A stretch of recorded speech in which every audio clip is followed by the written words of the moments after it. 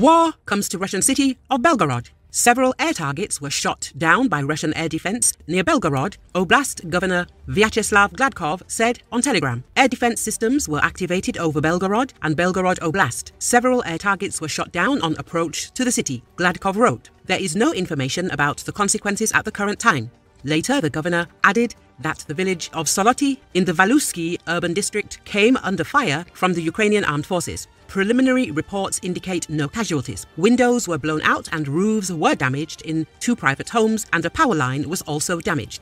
An air raid alert was announced in the city. There were several impacts in the Belgorod region and an S-300 air defense system was operational, reported monitoring group Chomu Tryvoha on Telegram. Russian's defense ministry reported a missile strike in the Belgorod Oblast on January the 2nd. Belgorod announced an air raid January the 2nd. Belgorod announced an air raid alert three times during the day, and explosions were heard in the city in the evening of January the 2nd. Explosions also occurred in Belgorod on December the 30th. Governor Vyacheslav Gladkov stated that the regional capital was shelled by Ukrainian armed forces. Ukrainian security and defense forces struck military targets in Belgorod, Ukrainian media reported.